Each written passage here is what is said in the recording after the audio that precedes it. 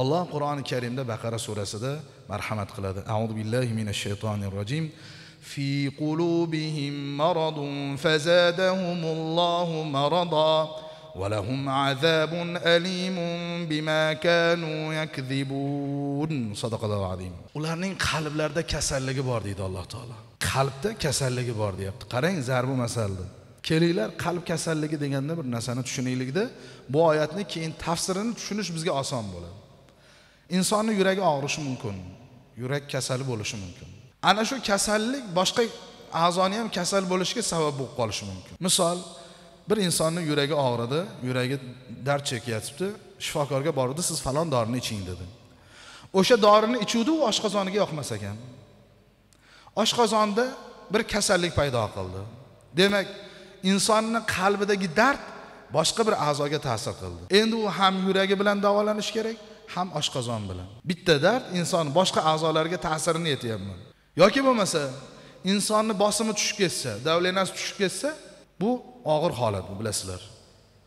Agar shu bosim pastga tushib olti soat bir xil holatda tursa insonni pochkasi ishlamay qolar ekan buyragi ishlamay qolar ekan. Bitta bosim kasalligi buyrakka ham ta'sir qildi. Yoki bir insonni sahri bor qandli diabet deymiz. Ko'ngliga kelmasin agar qaysi bir insonni bu narsa dardi bo'lsa alloh shifo bersin yo bu dardiga gunohlarni kafforat qilsin. Bir biz bu yerda bir insonni yomonlash emas o'xshatish zarbi masal oyatni zarbi masalini tushuntirish maqsadida aytyapmiz agar sahr insonda ko'tarilib ketsa unga qarshi kurashmasa ko'zi ko'rmay qolishi mumkin inson. Buni ko'pchiliginglar bilasizlar. Agar insonni sahri ko'tarilib ketsa komaga tushib qolib boshida qon qotib qolishi mumkin. Qon qotib qolsa falaj bo'ladi. Falaj bo'lsa nima bo'ladi? Uni davomini bilaverasiz endi. Demak bir kasallik ikkinchi bir kasallik bo'lishligiga a'zoni ta'sir qiladi. Demak qalbdagi bitta gunoh ikkinchi bir gunohni ham sodir qilishiga sabab bo'ladi. Bitta qilgan ishingiz ikkinchi ishingizga ham ta'sir qiladi. Bir inson haromdan o'zini to'smasa bir inson o'g'irlikdan to'xtamasa gunohini bilib turibdi lekin o'g'irlik qilyapti. Nima bo'ladi? Bir kun qo'lga tushadi bir necha yilga qamaladi. Nima sabab bo'ldi. Nima ish bo'ldi bu yerda? Xulosa nima bo'ldi desa bir inson o'g'irlik qildi qamaldi zararni ko'ring. U qamoqdan chiqquncha bolalarni tarbiyachisi yo'q endi.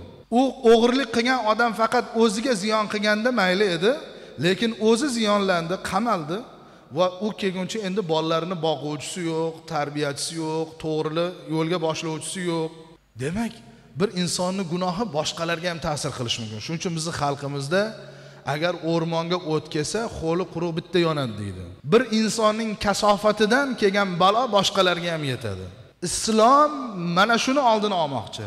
Olloh qur'on va sunnat mana shu narsani oldini olmoqchiki ey bandalarim hayotda rohat bilan yashaydigan bo'lsanglar o'zgalarga yaxshiliginglar yetishini xohlasanglar qalbinglarni toza tutinglar. Qalbni kasali boshqasiga ham zarar qiladi. Olloh aytyapti ularni qalbida kasalliklari bor. Olloh ana shu kasalliklarni ziyoda qildi deydi. Bular kim? Bular munofiqlar. Qaysarda bular? Yo'l hammasi bor lekin yo'q biza buni aytganini qilmaymiz buni qilmaymiz deydigan. Alloh taolo keyin ularni qalbini tosh qilib qotirib qo'ygandan keyin na qur'on na hadisni eshitsada u inson ta'sirlanmay qoladi. Alloh bundan asrasin.